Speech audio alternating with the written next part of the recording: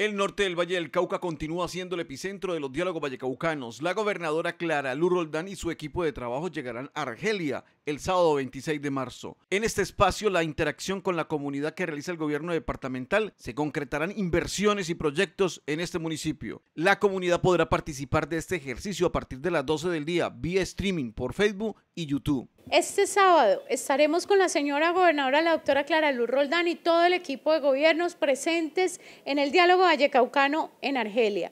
Queremos invitar a los habitantes de Argelia, a los voceros de la comunidad que participaron en los talleres preparatorios a presentar sus solicitudes e iniciativas para el desarrollo del municipio. La señora gobernadora se trasladará con el equipo y en, y en equipo discutiremos y analizaremos las propuestas de la comunidad. Participa, porque todos juntos somos un valle invencible.